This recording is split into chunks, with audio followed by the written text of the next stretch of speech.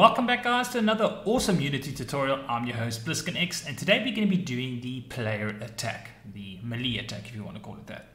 So we're going to first focus on the animations and getting that to work with maybe the mouse click, the left click, and then from there we will work with the actual collisions in our next video. So first things first, as you can see, I've gone ahead and created the animations over here under attack. I've gone ahead and put in all the sprites. I've ensured that they've set the widths correctly. If I click on this one, you'll see that I've set it to 16, knowing that it's a 16 pixel. Now I could pivot this and center it or you'll notice that there's a slight kickback with regards to the animation. We're not going to worry about that for now. I'll set the origin um, exactly to the T uh, once I've done with the video. There's no point in, or maybe make a separate video with regards to the pivot system. Okay, so I've gone ahead and set that. I've gone on ahead and also added all the animations. And if you're not familiar on how to do that, go and look at the player movement and you get a good idea of how to set this correctly. So I've gone ahead and obviously set that. So next thing we're going to need to do is go back to our player tree, which is going to be in our animator, and we're going to do a number of things. The first thing we need to do is add a new perimeter. We're going to call that for now maybe attacking because we're going to need that to know, now we're going to use as a boolean we need to know if the user is in fact um, in the attacking motion to then you know begin the attacking um, animation.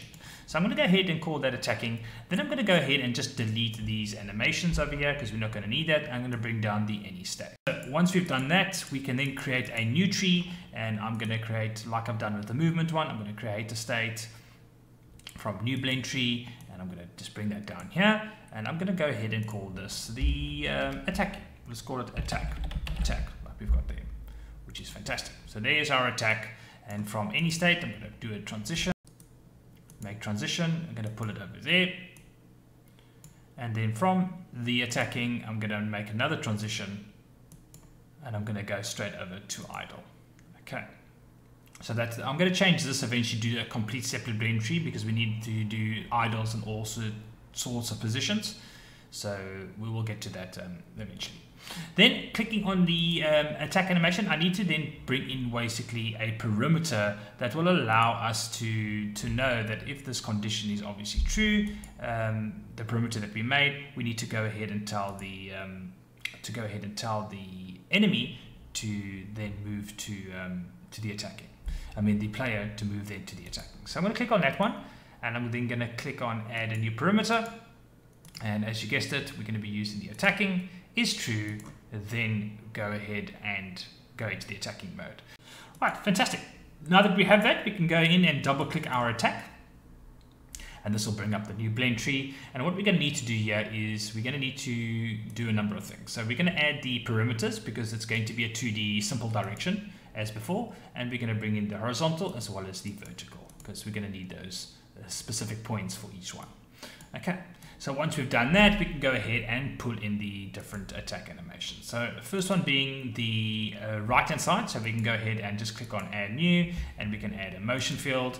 And you can click on this little icon here. This allows you to sort of select a lot easier than having to drag it across. Um, let's go with a player attack down and then we can click on it again. And I'm just going to do all of them quickly. Add a motion field and let's do the uh, player attack up and vice versa as you guessed it. Uh, add again and motion field and this one will be player left. And again motion field. And this is going to be the player right. So let's go look there attack right. Fantastic. Okay so now you can see that we've got the four um, the four critical sort of animations added to the blend tree. Now we can go ahead and set the, the attack um, correctly based on the axes that he is.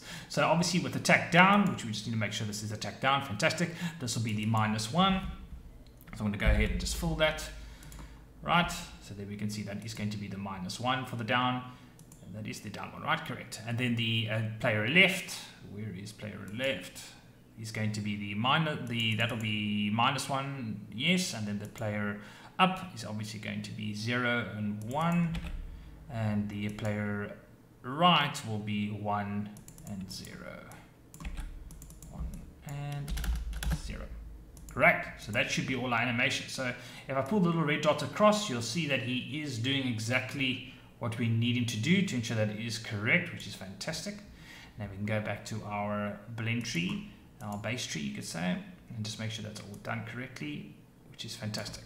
Right, so now that we have that all added in there, we can basically test that as well by, by filling the perimeter. So let's go ahead and test, test that quickly. And click on the animator here.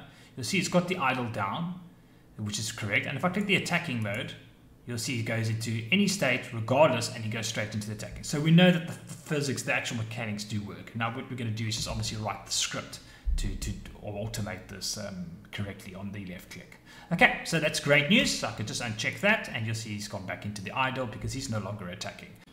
Right, so the next thing we need to do is some scripting to get this all to function. So we're going to go ahead and click our player movement and that's going to bring out our player script, our little C sharp script, and yeah, we're going to do some magic. Okay, so as you can see, currently in the update, and I've got this fixed update, which is a lot more accurate with regards to the player movement and the animations that we're changing over here. I'm going to change things up a little bit because of the fact that as the as we start to scale the player, things are going to get messy. And the better approach is obviously to ensure that everything's got its own function um, to which we will call that will do respectable things. So let's go ahead and just do some tidying up first. So um, I should have done this off camera, but nevertheless, I'll just show what it looks like. So we're going to go write a new one for the player movement, which is this one in the fixed update.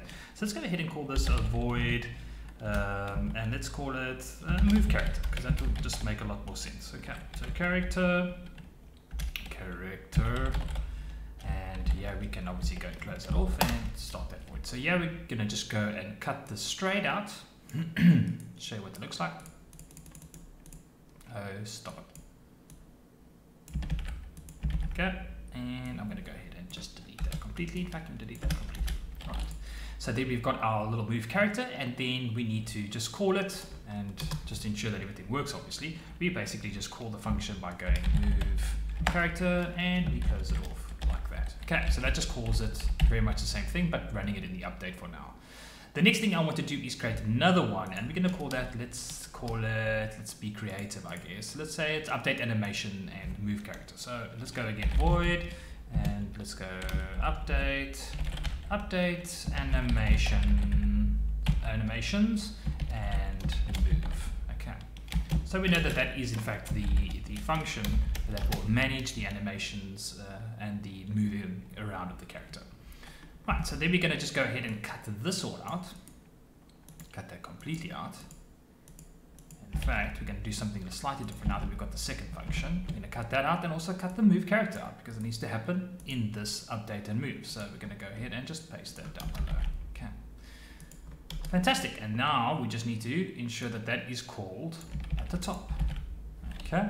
So this should be exactly what we had. We've just gone ahead and tidied it up a little bit so that it makes a little bit more sense now before we sort of begin to make the movement, you could say, of the player. So I'm just going to go ahead and save that and just ensure that everything is working correctly, that we've got no errors down below. Doesn't look like we do. So we go ahead and save that. You'll see, and there it is. Okay, fantastic. So everything's back to normal. Now you'll notice that when my player stops walking, he goes straight down to idle down. Now we can check the vector to make sure that it's not zero the, movement. Uh, but for now, let's just leave it at that. And then, like I said, we'll do an optimizing on animations because as I mentioned, the animation for the attack, you'll notice is also slightly pulled down. If I go ahead and stop this, just to show you, and I click on my player, and I play this animation, which is the attack right. Yeah, it's the attack right. So if I go ahead and play that, attack right, or let's say attack down even, you're going to notice he has a bit of a kickback, as I said. And we want to make sure that this is smooth from the base of which he's standing. So let's not worry too much about it now, but I'm just giving you a heads up if you do see it in the, in the change that we're going to be doing. Okay. So fantastic, now that we have that, we're going to do something very quickly just to get that working with regards to the animation. So I'm going to go back to my, you could say, little script here, our player script and we're going to then put in the update with regards to the, um, the animation. Now, the fastest way to do this is theoretically is to use the input on your project settings. I'm going to just assign mine to, if I go over to edit and we go over to project settings and you go over to the inputs manager, you'll notice it's got all these different inputs it's assigned to the game. So I'm going to use fire one for now, which will be my mouse as well as the left on control. And I'm going to use that to fire off the animation theoretically of the attack. Okay, so that's just the fastest way to do it. But we would want later, and I think we might do it in the next one. In fact, let's just rather do it now. Let's just do everything the right way, that way we don't need to revisit. So let's quickly create a public enum. So let's go public, and this is just gonna hold all our different states. public enum, and let's call it player state. And let's open that. And then let's go and create the first one, which is going to be walking. The second, which will be attacking. And we'll leave it like now. So if we add, for instance, dying or interaction, etc., we would then go and add it to this enum. That way we always know the states because we'll set the states based on the different functions. Okay. So now that that's there, let's go ahead and create a public variable for that, just for that. So we're going to go public um, player state, and that we're going to call current state. Current state. Right. So we've got that, and then we just need to create our void start again. So let's just do void because we need to set it on initialization start. Uh, let's do that and just tab that across. tab this across. And then on the void start, we can go ahead and set the current state to walking or idle. We can even add idle, in fact. Current state, let's do it just to walking. To current state sorry, equals, and we'll go player state dot walking. Okay, so that's the first one. So I'm going to go ahead and just save that quickly just to show you what I've done. So now we've got these states so that we know what states we're in. So if we're in the in the in the update animation state, we'll set the animation um, to walking, obviously this um, player state, and if we're in the attacking, we can do the same.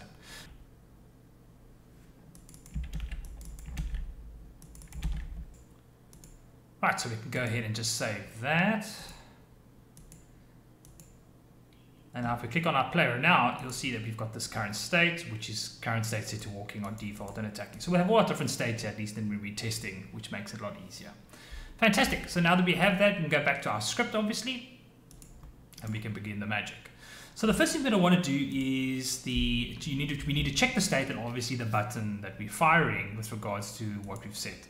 Now, as I said, I've set mine to the fire one button, so I'm going to keep mine there. So what we're going to do is add an if statement in the update. We're going to go if, and we're just going to open that and uh, just close it off.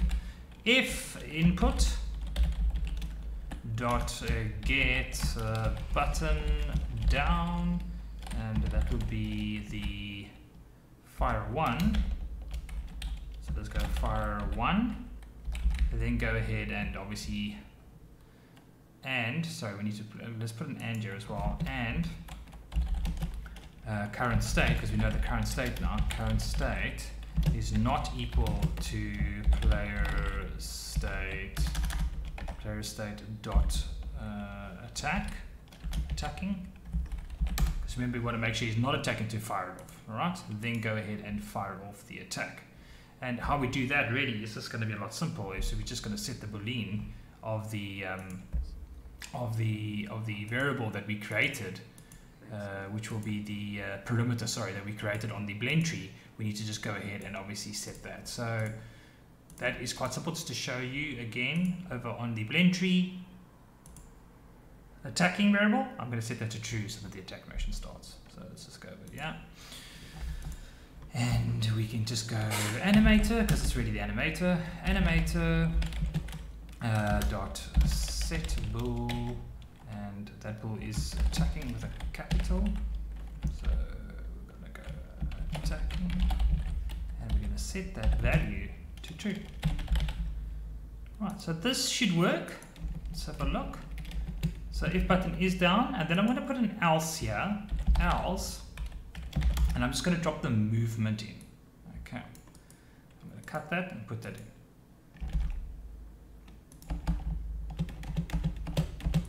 Fantastic. Go ahead and save that. Now this should bring the animation, the melee attack to to to life. So this is going to test it, but it might just be a little bit weird. So let's have a look.